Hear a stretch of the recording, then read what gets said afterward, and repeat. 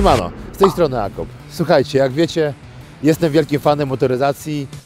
Uwielbiam swojego Mustanga. Cały czas, jak widzicie, coś tutaj zmieniam. Maska już jest nowa, ale nie tylko maska.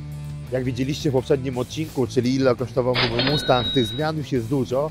A tak naprawdę te zmiany, które wykonuję w aucie, gdzieś tam powolutku kierują się ku temu, żeby założyć kompresor. Czyli dokładnie będę zmieniał moc swoim Mustangu, bo jednak chciałbym, żeby to auto było troszeczkę mocniejsze niż jest seryjnie.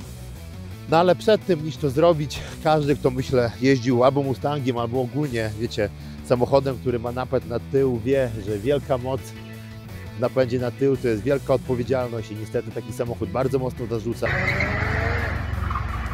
Jest bardzo łatwo o wypadek w, e, w takim samochodzie. Dlatego zacząłem robić kolejne modyfikacje, modyfikacje pod kątem przede wszystkim bezpieczeństwa, żeby jeździć sobie samochodem i żeby ten samochód był dla mnie środkiem transportu, który po prostu nie zrobi mi krzywdy. Czyli wymieniłem nowe rzeczy, nowe elementy.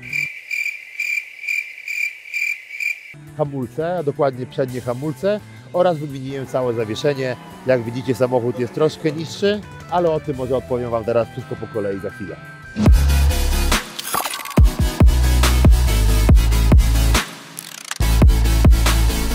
Felga trochę brudna, jest to felga seryjna. Jak wiecie, na okres wakacyjny zmieniam felgi na włoseny, ale zimą po prostu troszkę mi szkoda i dlatego zakładam seryjną felgę. Ale pod tą felgą właśnie znajdują się nowe tarcze. E, tym razem sięgnąłem nie po amerykański produkt, tylko po australijski. Jest to firma DBA. Stosunkowo moim zdaniem bardzo dobra firma, jeżeli szczególnie porównujemy do ceny, nie jest niczym gorsza od tych amerykańskich, które powiedzmy wydaje się, że specjalizują się w e, hamulcach dla Mustanga. Się okazuje, że właśnie australijski producent również robi bardzo fajne tarcze, z czego ja nie ukrywam, że osobiście bardzo jestem zadowolony. Tarcza do hamowania składa się z dwóch elementów. Jest o tyle fajnie, że przede wszystkim jeżeli chodzi o wysokie temperatury, to jest na tyle dobry metal wykonany, że nawet kiedy jest bardzo wysoka temperatura, to ta tarcza aż tak mocno się nie nagrzewa, dzięki czemu hamowanie jest cały czas na bardzo wysokim poziomie. Sama tarcza składa się z dwóch elementów. Mamy dzwon, rotor. E, To, co jest wielkim plusem, że kiedy już nam ta tarcza zacznie się zużywać, możemy tak naprawdę sam rotor wymieniać, nie musimy dzwona wymieniać i sama tarcza jest bardzo leciutka. Jest wykonana, tutaj dzwon jest wykonany z aluminium lotniczego, dzięki czemu też dosyć fajne jest to, że nie jest ona ciężka, czyli jeżeli, wiecie, szukamy możliwości, żeby odciążyć ten samochód maksymalnie, jak jest tylko to możliwe, to oczywiście jest to bardzo fajna metoda. No i tutaj jeszcze jest taka opatentowana technologia, która nie ukrywam, gdzieś tam mi się spodobała, jeżeli chodzi właśnie o samą konstrukcję tych tarcz.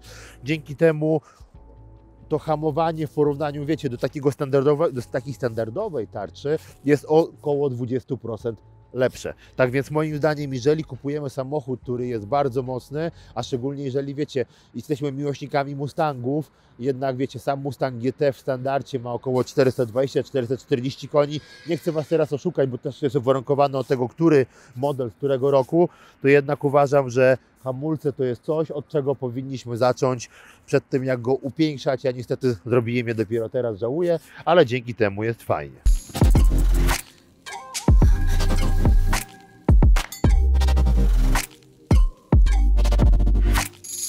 Jeżeli chodzi o zawieszenie, tutaj już poszedłem, że tak powiem, kompleksowo, właśnie korzystając z australijskiej, że tak powiem, technologii.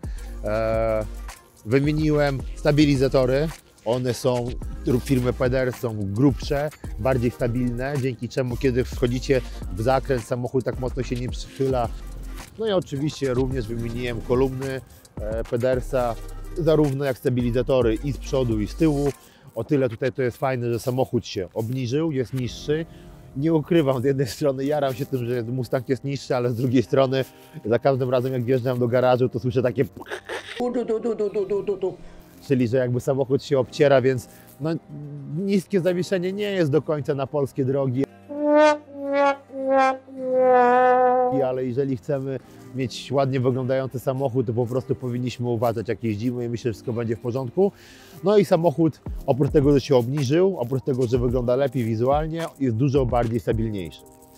To, co możemy docelowo zrobić z autem, a przede wszystkim to, że pamiętajcie, i to jest moim zdaniem taka przestroga dla Was szczególnie, że jeżeli kombinujecie z mocą samochodu i chcecie zwiększyć, ja teraz mam Mustangu około 520 koni, docelowo chcę zrobić 760-780 koni, taką moc chciałbym uz- uzyskać docelowo i myślę, że właśnie w okolicach kwietnia, maja tego roku to się stanie, to musimy zadbać nie tylko o to, żeby zwiększyć tą moc, ale przede wszystkim, żeby przygotować auto do tego, no i również ku temu, żeby nauczyć się odpowiednio jeździć. Ja nie ukrywam, że przed tym jak zwiększać moc, zapisałem się na e, kursy jazdy driftem.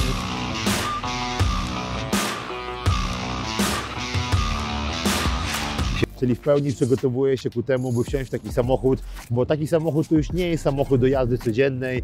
E, raczej to będzie moja zabawka, będę musiał sobie zafundować nową furę, że tak powiem, którą będę jeździł na co dzień, a ten mój piękny Mustang będzie stał w garażu i po prostu czekał na każdą niedzielę, żebym się nim fajnie przyjechał. I oczywiście mocno przepisowo. Trzymajcie się. Piona.